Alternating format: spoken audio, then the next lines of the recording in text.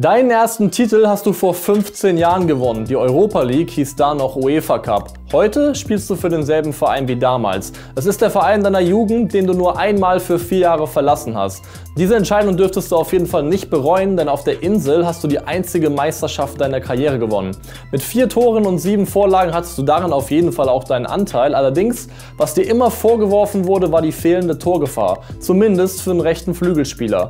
Heute ist es kein Thema mehr, beenden wirst du dein deine Karriere nämlich als rechter Verteidiger.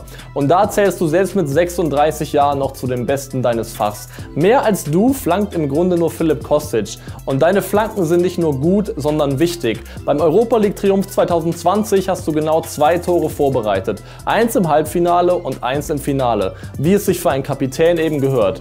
Europameister, Weltmeister und die schönsten Augen im Weltfußball. Du bist die lebende Legende des FC Sevilla. Du bist Jesus Navas.